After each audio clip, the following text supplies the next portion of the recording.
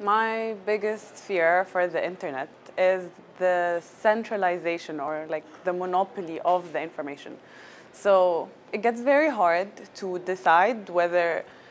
you can contribute your personal information for the sake of aggregate uh, statistics and for companies that are going to make uh, inferences out of your data in order to help others, like when you can like contribute something to maps or something. But when you think of it with the centralization of data into one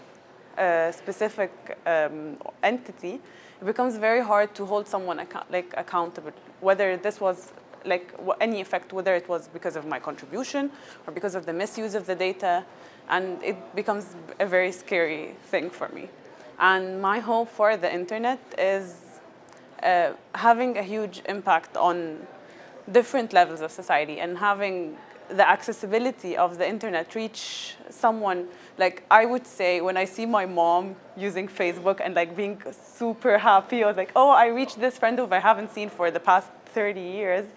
it makes me feel like oh this is something that's making a very small impact on the day of someone and sometimes it's making even a bigger impact on the day of a person who's trying to learn and they have no accessibility to education except through the means of connecting to someone all over the globe just to learn something out of them. So I think this is my biggest hope and my biggest fear.